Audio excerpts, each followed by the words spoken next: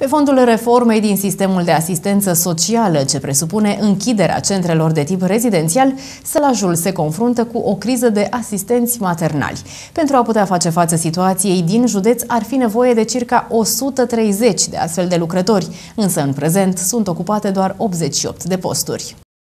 Asistentul maternal profesionist este persoana fizică atestată de către Comisia pentru Protecția Copilului, care asigură prin activitatea pe care o desfășoară la domiciliul său creșterea, îngrijirea și educarea necesare dezvoltării armonioase a copiilor pe care îi primește în plasament.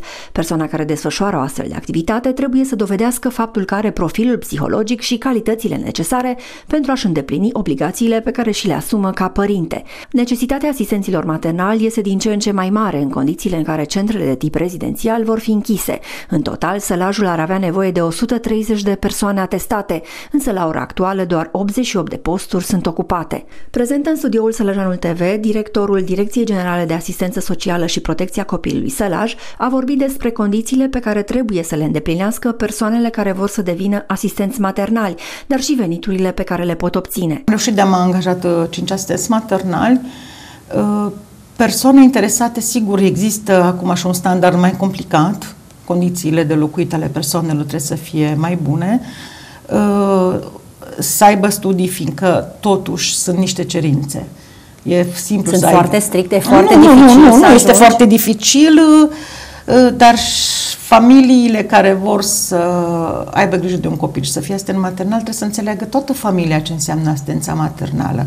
Că noi nu ne raportăm doar la asistentul maternal uh, el locuiește în casă cu familia extinsă, cu copiii lui, poate cu soțul, cu bunici, cu ăsta trebuie să înțeleagă tot ce înseamnă asistența maternală, fiindcă acel copil intră într-o fam- altă familie. un membru? Un membru al familiei și atunci, în multe situații, avem persoane care doresc să devină asistent maternal, dar familia este mai reticentă. Uh, nu acceptă ideea că, sigur, vizitele nu se realizează la domiciliu ale părinților naturale ale copiilor, dar nu înțeleg de ce, pe urmă, trebuie să păstreze legătura și să explice copilului că nu sunt ei părinții adevărați.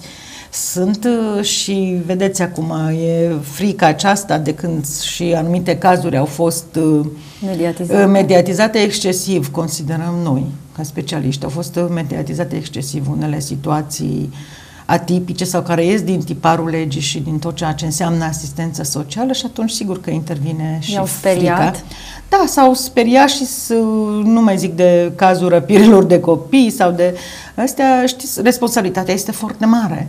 Sunt niște nu... condiții precise pe care o familie... Da, trebuie să, da, trebuie să ai, uh, aibă locuință proprie, în primul rând, sau măcar o locuință, dacă locuiesc cu socrii sau cu părinții sau cu altcineva, să fie de acord să-i primească în spațiu, să poată pune la dispoziția unui copil o cameră, fiindcă nu ducem un copil ca să stea într-o cameră cu încă 10 persoane ca așa acasă, deci să ofere un trai aproape de normalitate exact ca și copiii din familie.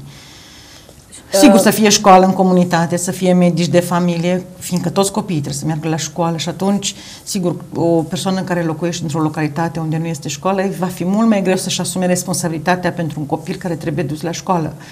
Responsabilitatea noastră, vedeți, este totală. Dacă se întâmplă ceva cu un copil din sistem, toată lumea, de ce s-a întâmplat? Să spunem că asistentul maternal este plătit pentru munca este pe plătit, care, pentru sigur. grija pe care o acordă o, copilului, primește un salariu. maternal are salariu cu carte de muncă, cu tot ce înseamnă spor vechime de continuitate, muncă. vechime, uh, tot ceea ce înseamnă spor de, uh, pentru copilul cu dizabilități este un spor de 25% în plus, plus uh, acei 600 de lei, care aici este o problemă pe care ne-am sesizat-o de câteva ore autorităților, dar încă nu s-a rezolvat. Acești 600 de lei se dau doar din luna următoare în care copilul ajunge în familie. De exemplu... Ce reprezintă cei 600? Uh, banii pentru hrană, rechizite, tot ce înseamnă îngrijirea copilului. Sigur, la copiii cu dizabilități este 900 de lei și alocația copilului. Și aici avem probleme la copiii mici, copilul luat în luna septembrie, dacă va fi preluat în luna septembrie, pentru luna septembrie asistentul maternal nu va primi acei 600 de lei, doar începând cu luna următoare, cu octombrie, și va primi banii în noiembrie. Și și aici există, sigur, anterior acestei legi a fost o altă lege în care ei, noi le dădeam banii pe zile efective când era copilul, dar cu justifică, că, cu facturi, cu chitanțe, a fost mai complicat. Dar și această sumă noi considerăm că se poate împărți pe la numărul de zile și din momentul în care copilul ajunge în familie să-i fie acordat proporțional acea locație de plasament. Aici nu s-a găsit încă o soluție și nu s-a modificat legislația, deși am trimis nenumărate uh, solicitări de schimbare a legislației și până la acest moment nu s-a schimbat. Un copil de două săptămâni să-l ții din, îl țin din banii proprii. O lună de zile este puțin cam complicat. Cu lapte, praf, cu scutece, cu tot ce înseamnă. Din păcate însă, nu întotdeauna se reușește repartizarea fraților la un singur asistent social. Un asistent maternal primește 2000 în mână. Deci un salariu acceptabil, sigur. Acum depinde de unde ne raportăm. În Zalău poate este un salariu mai mic, dar într-o comunitate de la țară este un, un salariu bun, spunem noi. Persoanele care doresc să devină asistenți maternal trebuie să depună o cerere la DGASPC Sălaj, la care vor adăuga o serie de documente, printre care certificate medicale, cazierul social, recomandări ale vecinilor, rudelor și reprezentanților primăriei, o scurtă prezentare a persoanelor cu care împarte locuința, precum și un act care să ateste dreptul de folosință asupra respectivei locuințe.